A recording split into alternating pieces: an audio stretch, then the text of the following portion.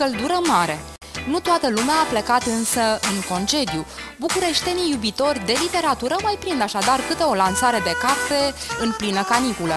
La librăria Mihai Eminescu, în plină vară, Katia Maxim și-a lansat romanul Încă un pas.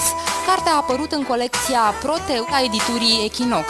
Este o carte care tratează o poveste veche, o poveste pe care o știm și noi de mii de ani. Este practic drama dintr-un cuplu, dintre Unel Șoia, care străbat împreună, au străbătut împreună multe etape și la un moment dat s-au regăsit fiecare separat.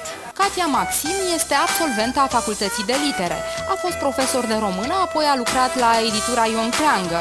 După ce s-a ocupat de cărțile altora, acum ea descoperă și practică scrisul ca pe un act terapeutic. Trebuie să ai curaj să abordezi o astfel de temă care pare cumva extrem de tratată. Este, sunt, acest subiect poate fi văzut din dublă perspectivă. Pe de o parte că este foarte tratat cum bine, foarte bine și mult tratat cum bine ați spus, este deci un act de curaj, dar pe de altă parte sunt și elemente ale acestei povești, sunt elemente tabu, pe care foarte mulți dintre noi ne ferim să le spunem, să fac parte din viața noastră, dar e cumva avem impresia că e ceva care trebuie să ascundem după ușă, nu știu, ceva care nu trebuie văzut, ceva care nu trebuie cunoscut. Povestea pare să fie una simplă. E povestea unui triunghi conjugal privit cu atenție, disecat minuțios de autoare.